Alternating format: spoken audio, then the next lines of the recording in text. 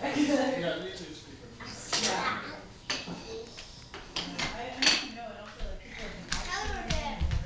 what's going on? I have clean diapers. You have a clean diaper? Your accents.